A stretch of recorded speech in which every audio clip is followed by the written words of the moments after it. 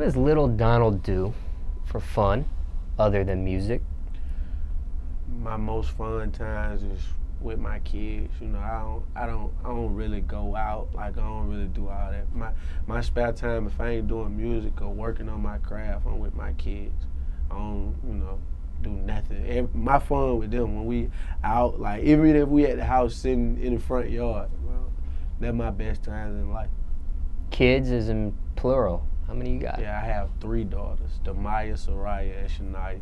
You might hear me on some of my verses say their name, but I say it real fast. Demaya, Soraya, Shania.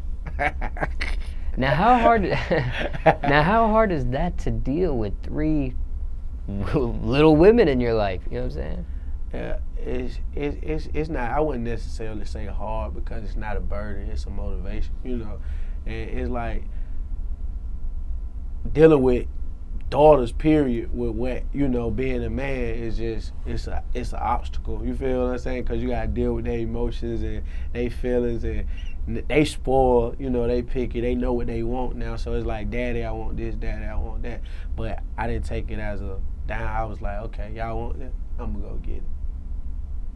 So i went and got it